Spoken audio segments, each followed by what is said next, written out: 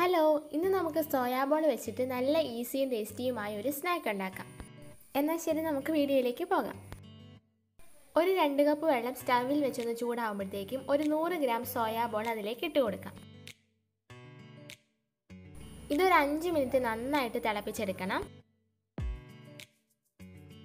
നന്നായിട്ട് തിളച്ച് പൊങ്ങി വന്നു കഴിയുമ്പോൾ നമുക്ക് ഫ്ലെയിം ഓഫ് ചെയ്യാം. ഇങ്ങനെ ചെയ്യുന്നത് ഇതിന്റെ അകത്തെ അഴക്കൊക്കെ പോകാനും ഇത് നല്ല സോഫ്റ്റ് ആവാനും വേണ്ടിയിട്ടാണ്.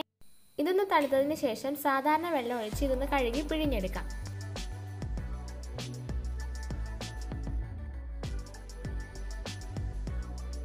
ഇനി ഇതിലേക്ക് ആവശ്യമുള്ള മസാലകൾ ചേർത്ത് കൊടുക്കാം. ഒരു കാൽ ടീസ്പൂൺ മഞ്ഞൾപ്പൊടി ഒന്നര ടീസ്പൂൺ എരിവുള്ള മുളക് പൊടി അര ടീസ്പൂൺ മല്ലിപ്പൊടി കാൽ ടീസ്പൂൺ ഗരം മസാല. പൊടികൾ ഇത്രയും ചേർത്തു. ഇനി നമുക്കിതിലേക്ക് ഒരു അഞ്ചല്ലി വെളുത്തുള്ളിയും ഒരു ചെറിയ കഷ്ണ ഇഞ്ചിയും ചതച്ചങ്ങ് ഇട്ട് കൊടുക്കാം.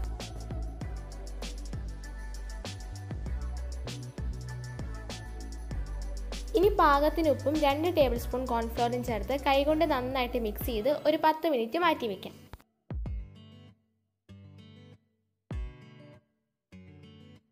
ഈ സമയത്ത് മസാലകളൊക്കെ നന്നായിട്ട് ഇതിൽ പിടിച്ചോളും. എന്നിട്ട് നമുക്ക് ഫ്രൈ ചെയ്യാം. ഇപ്പോൾ ഏകദേശം പത്ത് മിനിറ്റ് ആയിട്ടുണ്ട്. ഇനി ഞാൻ ഇത് ഫ്രൈ ചെയ്തെടുക്കാൻ പോവാണേ.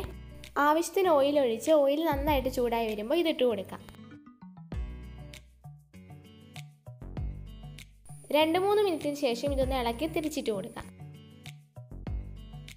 പെട്ടെന്ന് തന്നെ ഇത് ഫ്രൈ ആകും. ഇനി നമുക്കിത് കോരി മാറ്റാം. രണ്ട് രണ്ട് കറിവേപ്പിലയും ഫ്രൈ ചെയ്ത് ഇതിന്റെ മേലെ നമുക്ക് അങ്ങ് ഇട്ട് കൊടുക്കാം. അപ്പോൾ നല്ല രുചിയുള്ളൊരു സ്നാക്കാണ് ഇവിടെ തയ്യാറായിരിക്കുന്നത്. അപ്പോൾ ഈ അടിപൊളി റെസിപ്പി ഇഷ്ടമായെങ്കിൽ ചാനൽ സബ്സ്ക്രൈബ് ചെയ്യണേ. വീണ്ടും കാണാം. Bye bye.